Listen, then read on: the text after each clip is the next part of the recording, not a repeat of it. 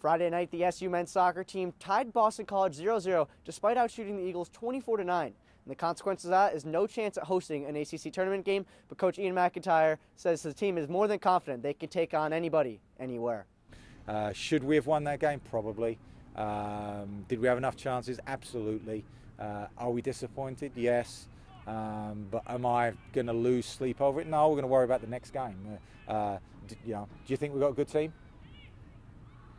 No, I, I think we've got a good team, um, um, but we'll, we'll, see. In terms of who we're who we're looking to play, we, we will play anyone. We'll go anywhere. We'll play in a parking lot. We'll play in a on the basketball court. Like, we don't care. We're just going to go and give our best performance and, and get the job done. You know, we can be excited for what's about to come. Like we know that we can uh, play and beat every single team uh, in this country, and you know that's what matters moving forward.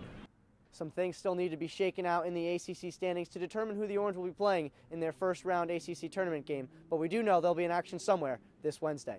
Reporting from the SU Soccer Stadium, Luke McGrath, Citrus TV.